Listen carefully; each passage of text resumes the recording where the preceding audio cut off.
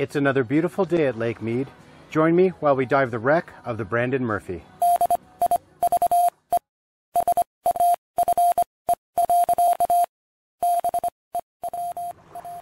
I'm Russ from Mission Scuba, and welcome back. And today we're out here at Lake Mead on the south side of Sentinel Island. And man, it is a beautiful day out here. I mean, look at it. It's absolutely incredible. So it's May 2024, and we're out here on the lake. Haven't been here for a few weeks, and we're super excited to be back. I'm on here with the boat with uh, Lydia and Steven, and we got Lucy as usual. And it's going to be a great day.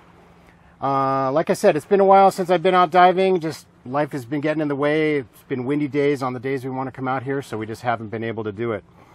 Um, back in March, I went with a couple buddies of mine down to Mexico and did some cave diving in the cenotes, and it was fantastic. So that was a fantastic trip.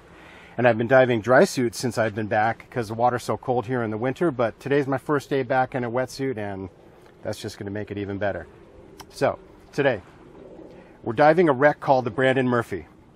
And a little bit of backstory about the Brandon Murphy is Brandon Murphy was kind of a, I don't know, I hate to say douchebag, but we had been diving uh, pretty heavily at this point. This is back in the late 2000s, so 2008, 2009, 2010 maybe, doing some serious deep, a lot of exploration out the lake, and we were checking out this place called the Low Level Water Treatment Plant out in Black Canyon. Historic place from the building of Hoover Dam back in the 30s. And at this site, it was about 240, 245 feet at the time. There was like a wood ladder. It was like a short one, maybe six feet tall, and it was just like a wood ladder the workers had put there to go from one level in the in the canyon to the next level, like just an incline, and it was bolted in place. And it was just so cool to see it. It was dark and this old historic wood. So anyway, some other dickhead divers broke this ladder. I don't know if they did it on purpose or they were trying to stand on it to be funny, but they broke the rungs out of the ladder. And we made a big stink about it. And we were trying to flush out these guys on a dive forum that Brandon Murphy ran. And um, he pretty much shut down what we were doing. And that pissed us off because we really wanted to figure out who did it and kind of hold him responsible because it was a historic site. So, anyway, so that's kind of the backstory.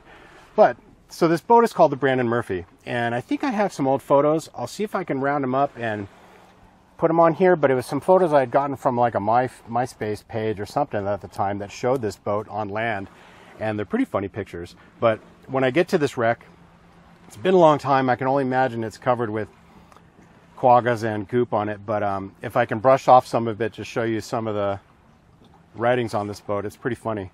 Um, but in this boat, there's an ice chest in it, and there's some wine coolers of some sort in the ice chest. There's some pretty funny things. I'll see if I can point them out. But this boat, it's basically, I'm on the south side of Sentinel Island, so I have to go all the way around up the east side of it, up north. It's about a 20 minute ride on the scooter to get there. And the Brandon Murphy itself, I think it's about 120 feet right now, maybe 130.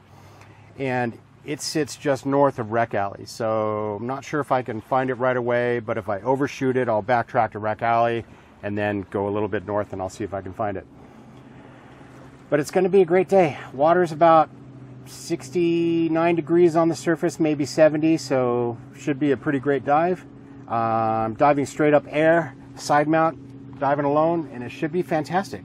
So stay tuned. We'll do a little talk after the video and I'll try to get some great footage for you. I'll see you soon.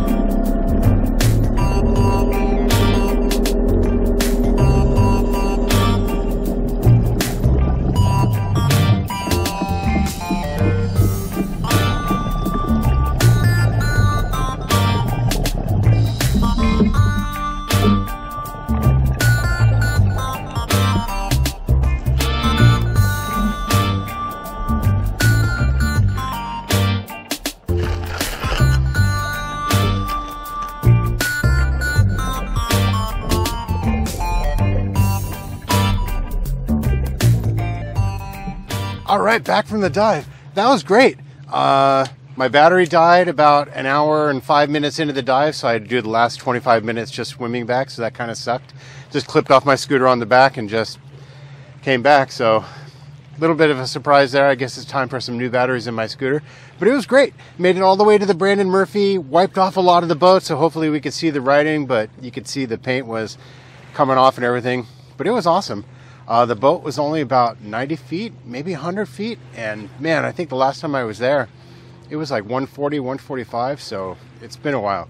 Anyway, great dive. Water temperature's great, weather's great, beautiful women on the boat, and that's about it. So if you like these videos, you like what you see, go ahead and hit subscribe down at the bottom and join the Mission Scuba family. And most of all, dive safe.